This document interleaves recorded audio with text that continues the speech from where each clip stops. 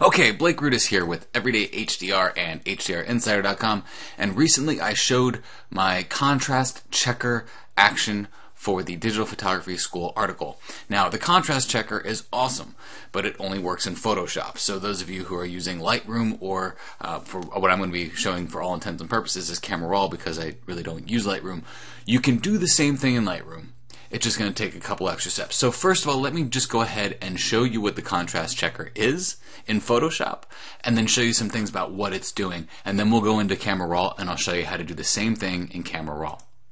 So this contrast checker action is also in my latest the color zone system uh, action that also has a tutorial video series to go along with it. So I'm going to press play on contrast checker and what you're going to notice right away is it turns your image into black and white. And that's exactly what we want to do here because right now looking at this photograph there is no depth or the depth is very very limited.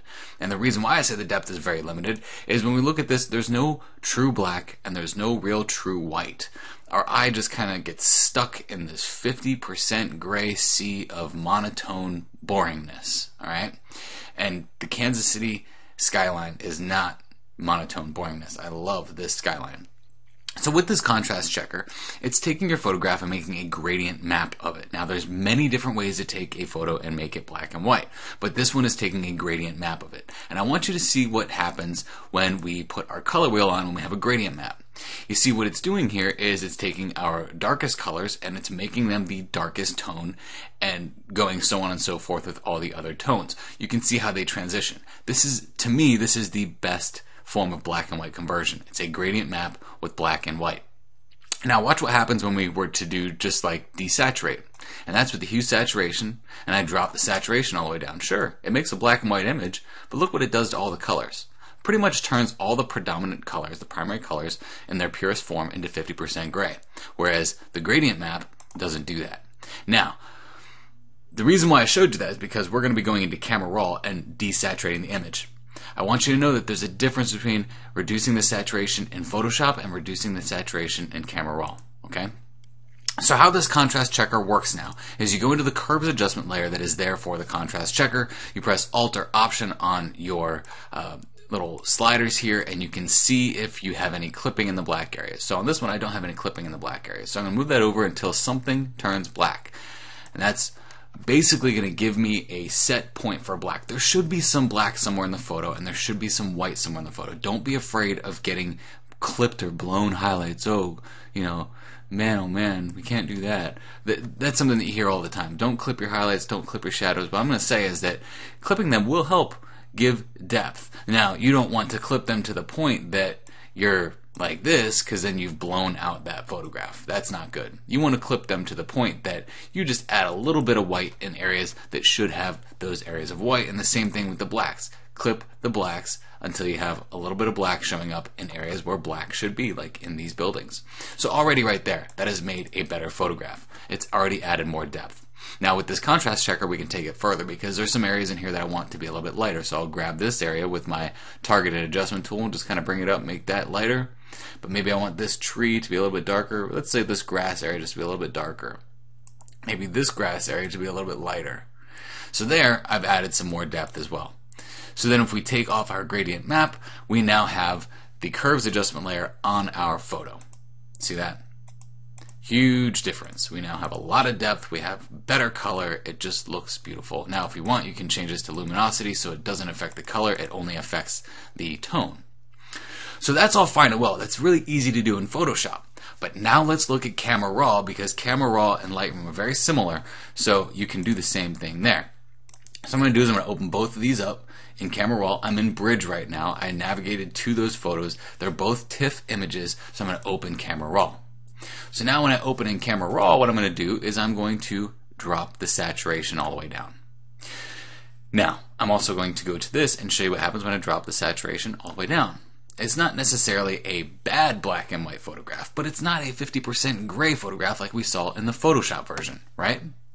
Alright, that's just pretty much what I wanted to show you there, is that the saturation drop is different in Camera Raw as it is in Photoshop.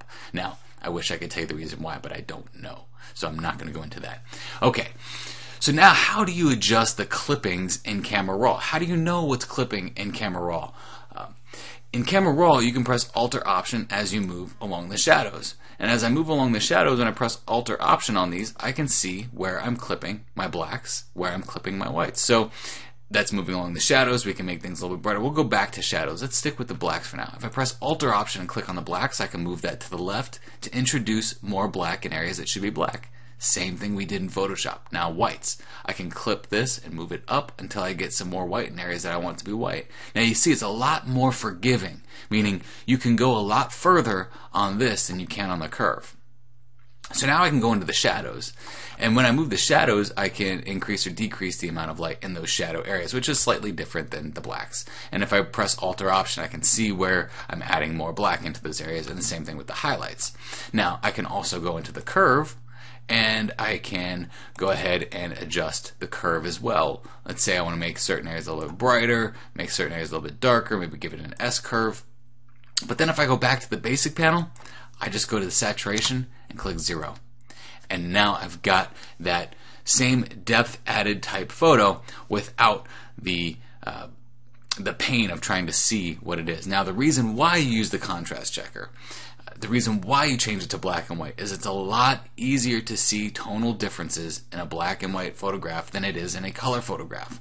And typically, if you get the tones right in black and white and then convert it back to uh, your color photograph in that non destructive way, meaning we haven't completely converted our photo into black and white. That's why we used an adjustment layer, a gradient map adjustment layer, because we can turn it off and it's not completely turning our photo black and white. Same thing here. I haven't done anything destructive because I'm using this saturation slider. So that is how you can use the contrast checker in a way in things like Lightroom and Adobe Camera Raw. Again, my name is Blake Rudis with EverydayHDR.com and HDRInsider.com. If you like this, please go ahead and comment, maybe share it. There's probably somebody else in the photo community that you know that may need this tip to help them with their photographic process. Also, if you want videos like this to be coming through your stream, go ahead and subscribe to this. Um, and if you like, I also have three books on Amazon.com. If you just search my name, Blake Rudis. You'll find I have three books Exploring HDR, and eh, the DSLR Survival Guide, and 11 things every photographer should know about HDR photography. Thank you very much for watching this. I really appreciate you coming by.